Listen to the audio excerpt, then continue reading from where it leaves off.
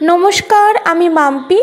মাম্পি দত্ত ব্লগের নতুন একটি ভিডিওতে আপনাদের সকলকে অনেক স্বাগতম। আশা করছি সবাই ভালো আছেন আর আমরাও ভালো আছি। আজ মহালয়া মানে পিতৃপক্ষের অবসান ঘটিয়ে দেবীপক্ষের সূচনা। অনেক সকালে ঘুম থেকে উঠেছিলাম, ওই যে মহালয়া দেখার একটা নেশা রয়েছে, তো কালকে রাত্রিরে আমি অ্যালার্ম দিয়ে রেখেছিলাম, আর আমার না পুরনো দিনের মহালয়া দেখতে বেশি ভালো লাগে। তাই ওই পুরনো দিনের মহালয়াটাই বসে বসে দেখলাম। আর এখনকার যে নতুন মহালয়াটা হয়, সেটা তো দেরি হয়। অনেক রকমের নাচ হয়, অনেক রকমের থিমের উপরে বানায়। তো অত তো দেখার আর সময় হয় না। গোলুকে বললাম, তুই বসে বসে দেখ, আমি এদিকে কাজগুলো সেরে নিই বিছানা তুলে মুখ হাত ধুয়ে পেছন দিকে তাকাতেই দেখলাম প্রচুর কাশফুল ফুটেছিল। তাই একটু দেখলাম আর তোমাদের জন্য ক্যামেরাবন্দি করলাম। কি অপূর্ব লাগছিল, মনটা পুরো একদম ভরে গেল। দুর্গাপুজো যেন ওই ফুলগুলো দেখেই মনে হচ্ছিল যে খুব সামনেই আগত। তো নিচের ঘরে আসলাম আর এবারে রান্নাটা বসিয়ে দিলাম। কালকে না বিকেলবেলা একটু সুপার মার্কেট গিয়েছিলাম। তো ওখান থেকে অনেক কিছু জিনিসই এনেছি, তার সাথে একটু চন্দ্রমুখী আলু এনেছিলাম। আর আমাদের এইদিকে তো চন্দ্রমুখী আলুটা খুব একটা পাওয়া যায় না, কেউ পছন্দ করে না। তো আমার আবার ভালো লাগে আলুর দম খেতে চন্দ্রমুখী আলু দিয়ে। তো সুপার মার্কেট থেকে এক কিলো মতো আলু এনেছি। ভেবেছিলাম আজকে একটু লুচি করব আর ওই আলুর দম করব। কিন্তু আমার হাজব্যান্ড বলল যে না, লুচি ঝামেলা করতে হবে না। আমি ডালপুরি কিনে নিয়ে যাব। আর আমাদের বাড়ির এখানে না খুব সুন্দর একটা ডালপুরির দোকান আছে। খেলে খুব একটা গ্যাস হয় না, প্রচণ্ড হাইজিন মেনটেন করে। তো ওখান থেকে এই যে খানিকগুলো ডালপুরি এনেছে। আর আমি প্লেটে প্লেটে সাজিয়েও নিয়েছি, কিন্তু সকালবেলা চা ছাড়া তো আমার হবে না। তাই একটু চাও নিয়েছি, আর এই যে রসগোল্লা, এইগুলো হচ্ছে কলকাতার রসগোল্লা।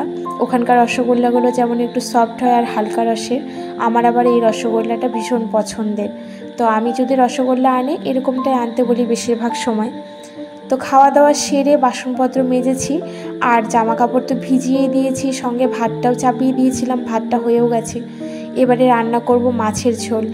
আর আজকে না, আমার বাড়িতে রুই কাতল বাদ দিয়ে একটু অন্য ধরনের মাছ এসেছে। কি মাছ? অবশ্যই তোমাদের দেখাবো। তার আগে ওই মাছটা ঝোল করব ডাটা দিয়ে, পেঁপে দিয়ে, আলু দিয়ে। তাই এই সবজিটা ফটাফট কেটে নিচ্ছি। আর তখনও কিন্তু মহালয়া হচ্ছিলই। গলুটা আমার মহালয়া দেখছিল। তো ওকে আবার বললাম, একটু আমাকে ক্যামেরা করে দিয়ে চেয়ারে বসে বসে। তো আবার ফোনটা ধরেছিল আর এদিকে মহালয়াও দেখছিল। সবজিটা কেটে ধুয়ে নিলাম। আর এই যে বন্ধু আজকের আইখোল মাছ এনেছে, এটা দিয়ে পাতলা করে ঝোল করব। তো নুন হলুদটা একটু মাখিয়ে নিলাম, আর মাছটা যেহেতু কেটেই এনেছিল, তাই আমি বাইরের কলতলাতে গিয়ে ধুয়ে এনেছি। এমন সুন্দর টাটকা মাছ সচরাচর তো পাওয়া যায় না, তাই আজকে যখন এনেছে ভাবলাম যে একটু সবজি দিয়ে হালকা করে পাতলা করে ঝোল বানাই। কিন্তু আমার বাড়িতে আবার আমার ছেলে, আমার হাজব্যান্ড খুব একটা সবজি দিয়ে মাছের ঝোল খেতে পছন্দ করে না, কিন্তু আমার আবার অনেক পছন্দের। নুন হলুদ মাখিয়ে রেখেছিলাম মাছে, এখন মাছটা ভাজতে দিয়েছি। চলুন, এই ফাঁকে আমি একটু পাঁপড় রোদ্রে দিয়ে দিই। এই যে পাঁপড়গুলো দেখছেন, এই পাঁপড়গুলো না গত মাসের।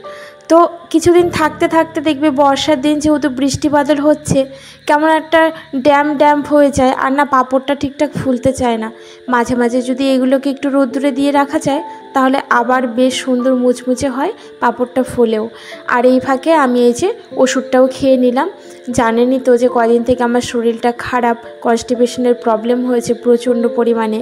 তো ওই যে ওষুধ বারবার খেতে হয় বলে কিচেনে নিয়ে রেখেছি, নইলে আবার ওপরে কে যাবে বলুন তো? মাছটা ভাজা হয়ে গেল আর এখন এই যে ফোড়নে দিলাম শুকনো লঙ্কা, তেজপাতা আর একটু গোটা জিরে। দিয়ে এবার সবজিটা দিয়ে দেবো, তারপরে একটু ভাজা ভাজা করব, নুন আর একটু হলুদ দিয়ে।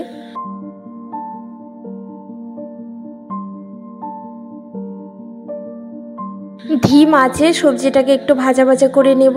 তো ঢাকা দিয়ে দিলাম, একটু ঢাকা দিয়ে দিয়ে ভাজা করব। আর সেই ফাঁকে আমি এই যে চিনিটা শেষ হয়ে গেছিল, চা পাতাটা শেষ হয়ে গেছিল, এগুলোকে একটু রিফিল করে নিচ্ছি। এইগুলোরও না একটা নির্দিষ্ট সময় থাকা দরকার, জানো তো বন্ধু?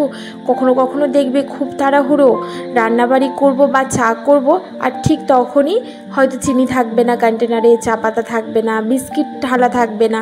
এইগুলো সব সময়ের জন্য হয়ে থাকে। তো জন্য একদম শেষ হওয়ার আগেই না আমি চেষ্টা করি যে ভর্তি করে রাখার। তাতে আমার একটু কাজ করতে সুবিধা হয়, একলা মানুষ তো। যেদিকে পারি বুদ্ধি খাটিয়ে একটু চলার চেষ্টা করি। তাহলে নিজের কাজগুলো অনেকটা সহজ আর নিজের সাধ্যের মধ্যে করে উঠতে পারি। তো এই যে মশলা দেওয়ার পরে আমার সবজিটা কষানো হয়ে গেছে। আর মশলা বলতে না আমি আদা, জিরে, লঙ্কা খুব অল্প পরিমাণে দিয়েছি। যেহেতু টমেটো দিয়েছি দুখানা, তাই কি সুন্দর কালার এসেছে দেখুন। রান্নাবাড়ি শেষ করে সমস্ত কাজকর্ম কমপ্লিট করেছি।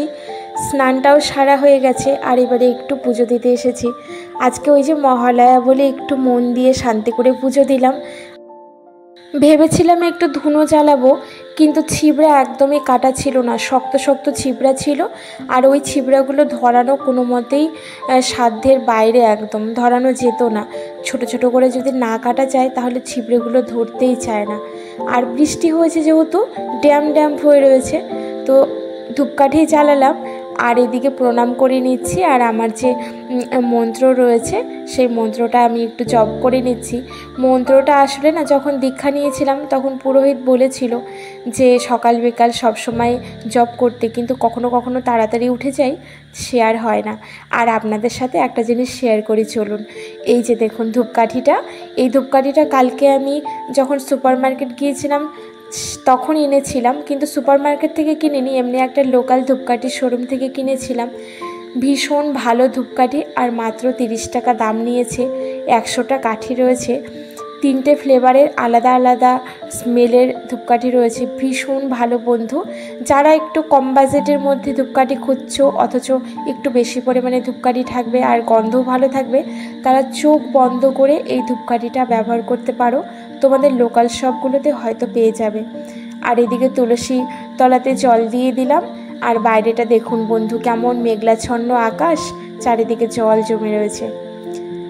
এখন হলো সন্ধেবেলা, আর সন্ধেবেলাতে একটু বাজারের দিকে বেরিয়েছি। আজও হাজব্যান্ডের সাথে। ওই যে আমার মা লক্ষ্মীর জন্য, গণেশের জন্য জামা কেনা হয়নি। আর গোপাল সোনার জামা তো আমি নিজেই বানিয়ে নিয়েছি, কাপড় কিনে এনে নিজে হাতে বানিয়েছি। যখন পরাবো তখন তো তোমাদের সাথে অবশ্যই শেয়ার করব। মার্কেটে গিয়ে দেখলাম, ঠিক অনেক আগের মতো না উপচে পড়া ভিড়টা আর নেই।